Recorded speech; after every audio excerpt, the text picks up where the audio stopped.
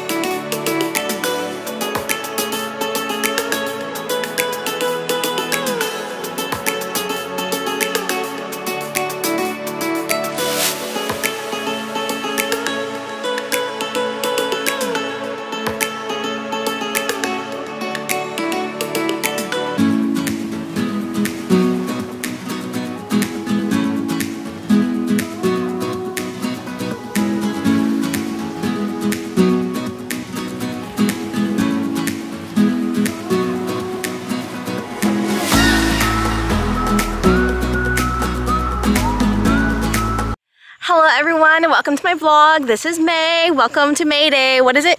May's Day. May's Day.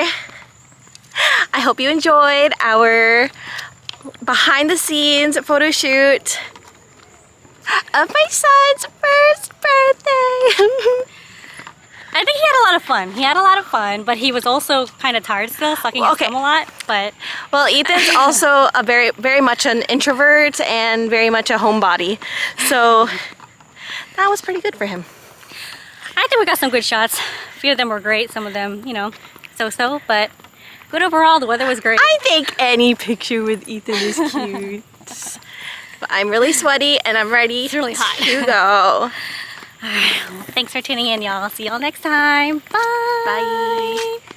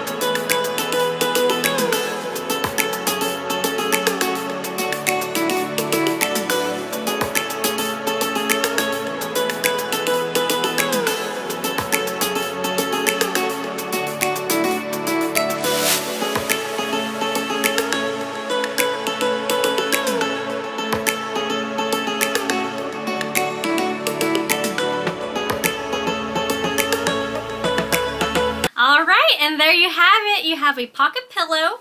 This nice big open pocket in the front is perfect to put your kids' toys, well, a small toy, and your child's favorite book in. So growing up, my favorite book was Corduroy, and I don't know if any of you have read this, but if you have, let me know in the comments below. And also let me know in the comments below if you want me to make a slow down version of this pocket pillow. It was super easy to make and I can show you how easy it is. So all you have to do is take your book, insert it into the pocket, and then your child or yourself can take it around wherever you want to go and travel. And when you get tired, you can just take a nap. it was so easy, so fun. And the next video that I'm going to upload is the actual birthday party of my nephew who is turning one. So take care everyone. Don't forget to follow me on my Instagram. It's Happy Mochi. I'll put it right here. Give that a follow and give this video a like. And please subscribe to my channel for future videos just to be notified when I go live next. And until next time, See you all later. Bye.